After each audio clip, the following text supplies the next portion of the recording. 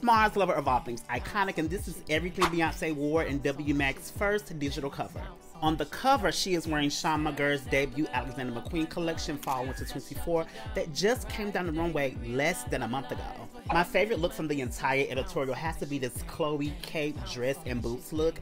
This look comes from Chemena Kamali's Fall 24 debut collection at Chloe, which came down the runway only a month ago. Now, this look here is all about the accessories, top tier styling. Beyonce is wearing a Gucci dress with a Stetson cowboy hat, has a Champion's Choice silver crown on top of the cowboy hat.